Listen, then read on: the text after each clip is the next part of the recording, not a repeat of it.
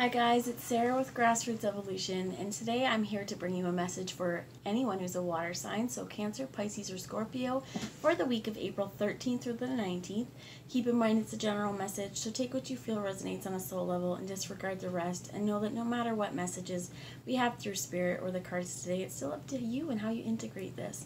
So for all my subscribers, thank you guys from the bottom of my heart for being here, and for anyone who's new, welcome, and if this resonates with you, please feel free at the end, hit hit subscribe, join the journey with me, and let me encounter your energy more often, as well as help me build my channel.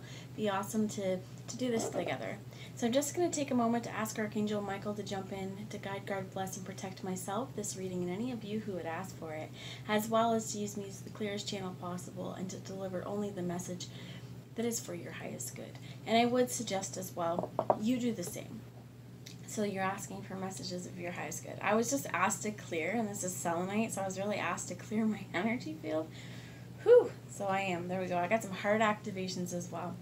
So before I get into tarot, I was guided today to pick three decks of angel cards. So Healing with the Angels, Archangel Raphael, and Archangel Gabriel. So I'm going to get three cards out, and then we'll read um, what it has to offer before the before the tarot.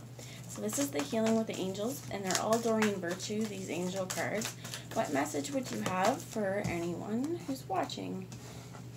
And I tried to do this reading like a few minutes ago. I stopped it at two minutes because I could hear my kids in the background cray cray, right? Well, these are two of the cards. I only got the angel cards out, and these two was the first and the last of five cards. I think the other one was Freedom and Study, so maybe four cards. So really um, studying on something, learning, using your freedom, and when you're kind of feeling like in captivity, to study. What can you learn? Study your own thoughts, behaviors. And I feel like there is a significant chance for celebration, and this is including partnership and celebration within partnership, as well as some of you, um, there's major changes and spiritual celebrations. Heard upheavals as well, but this doesn't necessarily mean bad. From difficulty, there's always going to be light. You're going to have learned a lesson or gained some strength. And this is arms wide open, as well as for some of you, um, there's a kiss. Now, understand as well, time is fluid. So we're picking up on energy, but this doesn't necessarily happen it mean it's happening now. It could be something that's going to trickle in, something that has already happened, past life, um, or something happening now. I mean, some of you, you live with your soulmates, right? Some of you, um, this isn't even, that kiss is just for one of you, or some of you. But for some of you, this kind of, you know, enchanting relationship, it's a cause for celebration. So let me get messages from the Archangel Gabriel Oracle and inspiration. We get, yes, your idea is divinely inspired. Take action accordingly and set it into motion. For some of you as well, I feel like some of you are spiritual healers. Some of you as well, through this soulmate connection, will be learning sort of to to use this honestly as divine inspiration, as a learning opportunity. And let's see, I want one more, please, Spirit. What is one more card that you could give me? Thank you. And we'll take Archangel Raphael as well. Spirit, was one card. Thank you. One more. Since we went for two, we might as well do it two and two. We have soulmate out here and two of them. So this is also um, divine counterparts, perf not perfect connection, I, I wouldn't say, because no connection is ever perfect, but there is divinity in this, and so what you're being given is the law of attraction. Like attracts like. And as well as this could be energetic communication, telepathic communication, and just something within a relationship, um, a spiritual relationship where you know you are I feel like as well having to be mindful of the energy that you're putting out in terms of what you're receiving as well. And inner authority and diet is important here. And Archangel Raphael is the healing one. So, dear Archangel Raphael, thank you for guiding me to make positive eating and drinking choices and for reducing or eliminating any craving for health, unhealthful substances. This is definitely one of those prayers we can put out. Help me because I have been stuck in my house eating stuff I'm not supposed to. It also means one of the things you can do in this case is when we take our weekly grocery shops, don't buy the stuff that's probably not good for you. We have, as well as I heard, listen to how your body feels when you consume it. How, what is your body trying to say? As this can be a lot of things, right? Drugs, alcohol. In terms of even this is for me, this is your head. What are you feeding yourself? What are the lies you're feeding yourself? What are, you know, what are the truths you're feeding yourself? And are you nourishing your body with healthy foods, right? This is also the choices. Am I making healthy choices for myself or unhealthy choices for me? And whatever these things are doing, how is it healthy and unhealthy? Kind of seeing that in your life and being an inner authority over this as well to choose not to engage in certain activities, eat certain foods, um, speak in certain ways. It says, Dear Archangel Raphael, thank you for supporting me as I take back my power and listen to my intuition, desire, and feelings. This is so important because the detox part, that's also about this idea of the law of attraction and vibration meets vibration. What are you putting out? What are you calling in? So I'm going to bring a message here from the dragon. Um, what is it called? The Dragon Oracle. Um, and it's this also came out in your pre-shuffle with Golden Christed Angel. And I am filming on Good Friday, April 10th, but this is asking you to bring higher love so that you can embody Christ consciousness. Twin Flames, that's what our mission on this world is to do, in my opinion anyway, is to help bring down Christ consciousness, to help people walk their spiritual missions. And w- one of the things I feel is most important with this is this open heart to teach the world to live with an open heart. So, absorb the Christ light. You are protected. Expand your heart and remain fifth dimensional. Throughout our relationships as well, with this kind of idea of Christ consciousness, I don't want to butcher it, so I'm going to read to you out of the book. Golden Christed Dragon.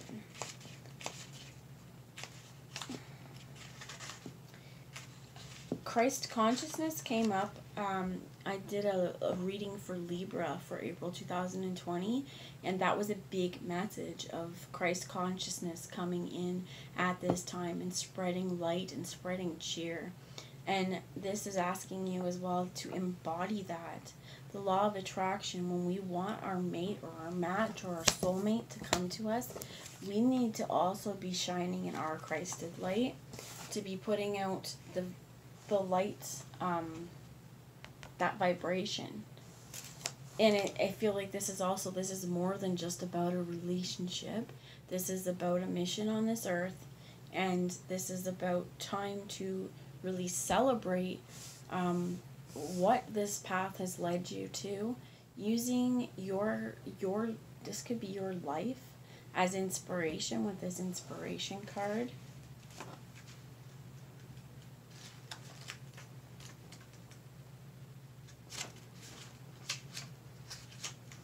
My gosh sorry guys. I feel like, what am I, I'm just moving through pages. What am I looking for?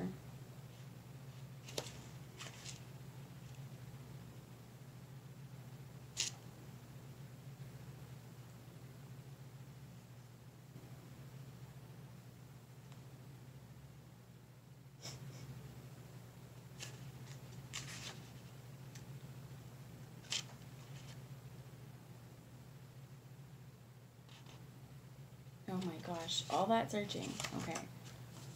40.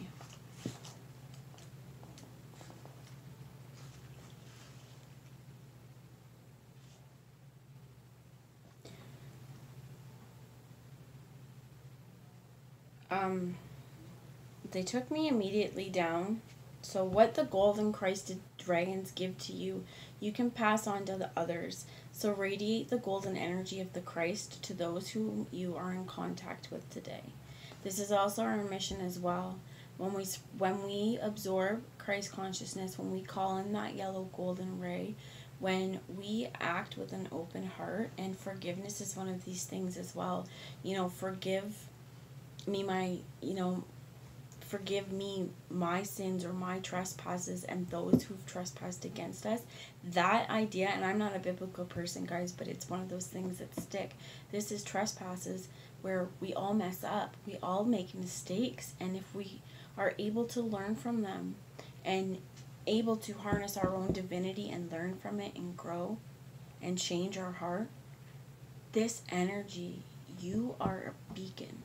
And you're a beacon of hope. You're a ray of light. And our energy, this it starts off saying that golden crested dragons are fifth dimensional dragons with a huge golden energy fields. They can access the Christ light of unconditional love at a ninth dimensional frequency, which is the highest facet of love energy that is available to us at this time, and pour it into us at maximum level we can absorb. They will come to us on our birthday or special occasions or celebrations and flood us with the cosmic gift of their special light. They will also come to us if we call them some of you, this is call them in. Then they will surround our aura with their protective golden light, enabling us to remain fifth dimensional. You are a light on this earth and a beacon of hope, is what they're repeating to me. So, celebrations as well, whenever they're like, they're taking me, they're blocking me. So, I'm going to move on going to ask a message now from some tarot. And the bottom one here is the orange, the Four of Wands celebration, as well as at the bottom of the deck for some of you. Open you to knowledge for the new golden age. Carry the energy of the future. Future be a guiding light. So you are being asked to be open to this golden energy to be open to the idea that you are chosen to spread this light. That you have not just been put on this earth for, you know, no silly reason. You are here for a very divine purpose. And this in itself is celebration. That it's time now to allow your soul's full incarnation and the capacity within you to thrive and to raise the vibration and to raise the roof because one um, how do we save this planet how do we save humanity we raise our vibration and to do this this is not about Christ as just Jesus or no just Jesus, but this isn't about Christ in the Bible. This is about Christ consciousness. This is about walking people through ascension. And I heard gaining confidence while you do it. And that's this inner authority. Some of you may have been doing this already. see. Let's get a little bit more tarot, please, Spirit. So what would you have anyone who's watching this far know? And I do apologize for that moment of just silence. And as I'm saying that, we get this Knight of Pentacles, a movement towards something stable and grounded, but this is thought through. And somewhere here,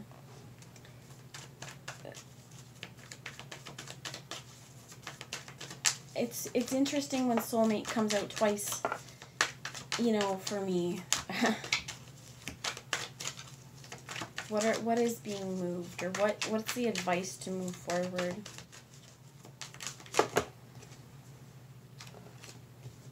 Not reading reversals, guys. Um, so the bottom of the deck is the Page of Swords, which is a kind of communication, which is also, um, I feel like she's, she's choosing with this she's holding on to here a white swan. And we have a balance here between the white and the dark. The dark swans, the light swans. And she's wearing black, but she's in wings of white and she has her swords and i feel like this is being protective of our thoughts as well as being balanced in communication. So moving towards something that will require someone to speak. And for some of you this is the celebration something you've been waiting for. Um, and i heard laying the groundwork as well. So you have here the emperor the two of cups the queen of swords the King of Cups, and the Three of Swords. And I feel like there's this was in the reverse as well, but like I said, I I'm not reading reversals. I feel like though there's probably been with this some heartbreak within the connection, heartbreak within the relationship, heartbreak within your life. Whoever this the this person, the spiritual connection that this is regarding, more than likely you've had many, many trials and tribulations and lifetimes together. And some of this, as well as I'm hearing, you could have been holding on to hurt from past life, but now is the time with these golden Christed angels and this orange gold dragon, this entering into a time of golden age. It's like living with power and positivity as well. And I've been so, so guided to this yellow today, lately you know, I feel like this is with this inner authority. This is this divine masculine as well, this emperor energy of really being a creator in his reality and being grounded and stable. And where they put that? The words, this is the Shadowscape Tarot, tarot and it's really nice because they're really small. Um, creating the order out of chaos. Authority, leadership, strength, establishing law and order. The emperor is a man rooted in his ways and views and regimens, but confident that this is the right structure and way of things. So, as well, there is a movement here towards structure in, in this physical, and there is first we have to get it in our head to think about it, but I feel like again being protective of our thoughts because if there's been heartbreak in the past, if there's been situations that have really hurt the dynamic of this partnership, they're in the past and they need to be heard reconciled. You have the Two of Cups here, which is again about partnership, and in this particular one as well to me, um, it's a real sharing of resources, sharing of I say sharing of the heart, um, but I feel like this heart is also dangled over there.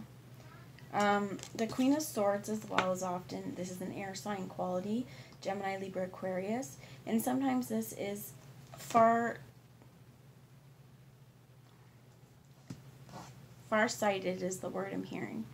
But it's also about being sometimes a little removed or detached. And as well as maybe, if there's been painful situations, not openly willing to just hand the heart over. And with the King of Cups here, this is water. This is, you know, um, you guys, Cancer, Pisces, or Scorpio. Don't get caught up in those signs, though. This is an energy of what does that element mean? Air, someone who is cool and calm and collected in her thoughts, but maybe a little detached. And I feel like this being able to create chaos, sorry, order out of chaos, that this relationship itself is really important in terms of um, understanding the chaos that's been all around and making those connections. So keeping in mind, yes, your ideas your ideas divinely inspired, take action accordingly into um, motion, that this means to come from a very, very generous place in our heart, a very, very um, highest vibration, to be nurturing in the ways that we think and the ways that we speak as well with this queen, because our queens are nurturing.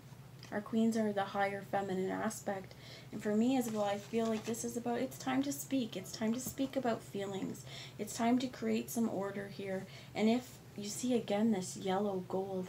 If there's been places within this connection where someone is afraid to, or if there's been a push and pull on how do I give my heart because my heart's been broken, it's like this this discussion needs to happen to mend that broken heart so that this particular this is an entity on its own a partnership that creates a third and very powerful strong energy that i'm being asked to show you the bottom under here which is fire and water dragon.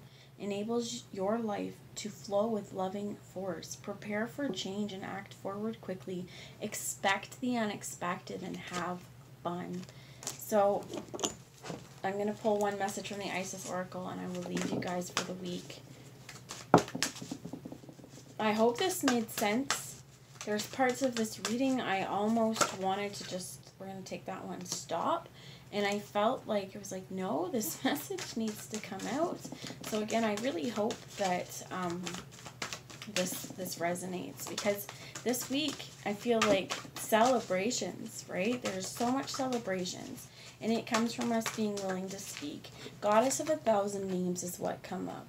And this is honoring your divine feminine as well with the divine masculine in connection. Um, this is saying, you know, there's endless emanations of the priestess. This is Isis energy. Call her in. Ask Isis to help you as well, to help you manifest your power, to help you bring down this energy into this physical, to really understand that whatever this relationship is, this is not just a um, 3D relationship. There is multiple dimensions, and there is energy being brought down through this to the, from the ninth right? From the ninth dimension, and you're being asked to stay in fifth, to stay in high vibration, to know that no matter what mess words that you may have towards calling in your divine feminine, no matter what goddess we're looking at, it's all one and the same. And let's just pull a quick message so I don't miss anything. It's been a while since I pulled these cards.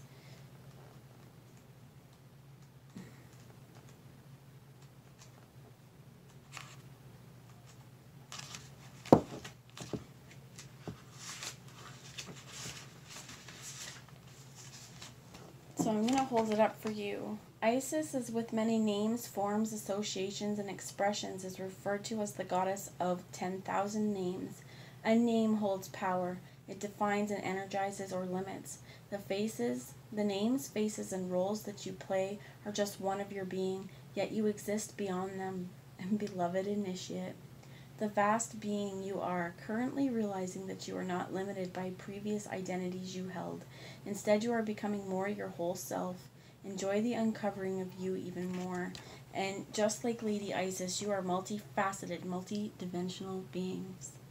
It is most helpful at this phase in your path that you learn not to attach to roles or identities that may have once held great importance for you or others relating to you.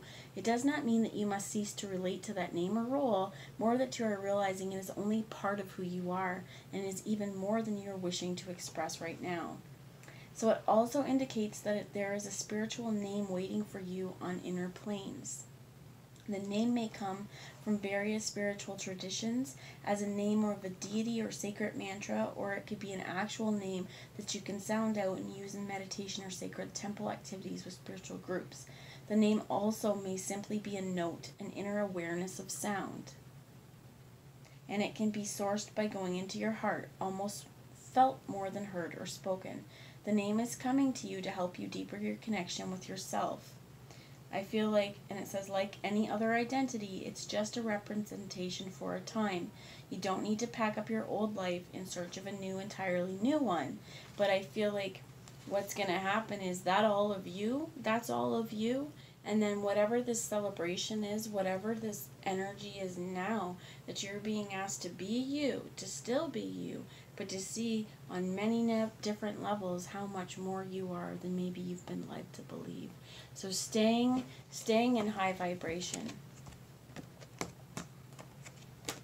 and creating order out of chaos.